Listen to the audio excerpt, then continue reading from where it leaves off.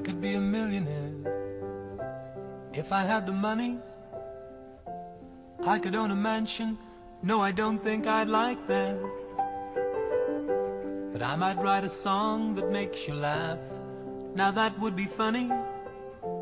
And you could tell your friends in England you'd like that. But now I've chosen aeroplanes and boats to come between us. And a line or two on paper wouldn't go amiss. How is Worcestershire? Is it still the same between us? Do you still use television to send you fast asleep? Can you last another week? Does the cistern still leak? Or have you found a man to mend it? Oh, and by the way, how's your broken heart? Is that mended too? I miss you, I miss you. I really do.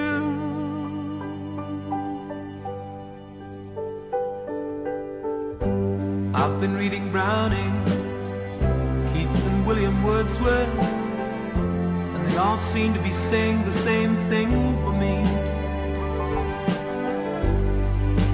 Like the words they use, and I like the way they use them, you know.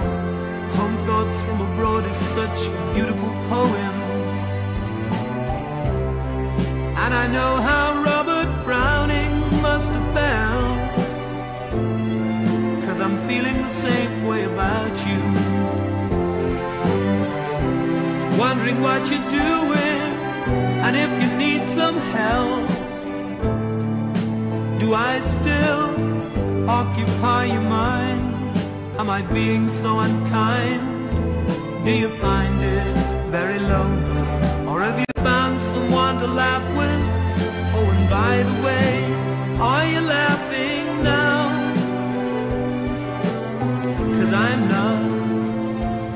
I miss you.